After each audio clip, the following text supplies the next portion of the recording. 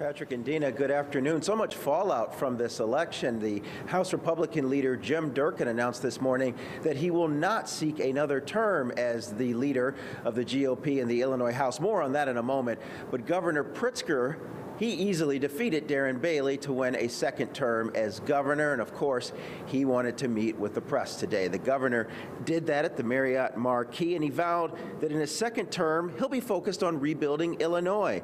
The governor was light on his specific agenda. Instead, as he did last night in his victory speech, Pritzker talked about the state of the Republican Party.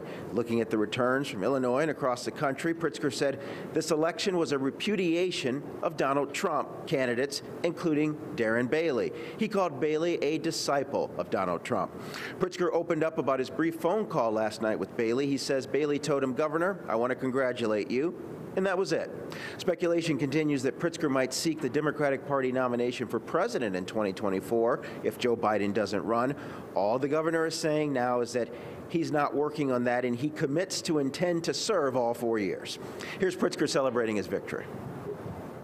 Well, Illinoisans made their decision, a decision that we should be a beacon of hope and opportunity and caring. Yesterday, working families won, children won, those who have been left out and left behind won. Our economy won, democracy won, and I can't wait to get back to work. So again, on Jim Durkin announcing he will not seek another turn as the House GOP leader, Pritzker said that's a loss for Illinois Republicans, but he'll work with whoever they elect as their next leader. That is the latest from this victory party here at the Marriott Marquis in the South Loop. Tahman Bradley, WGN News. Thank you, Tahman. Going to stay with us a little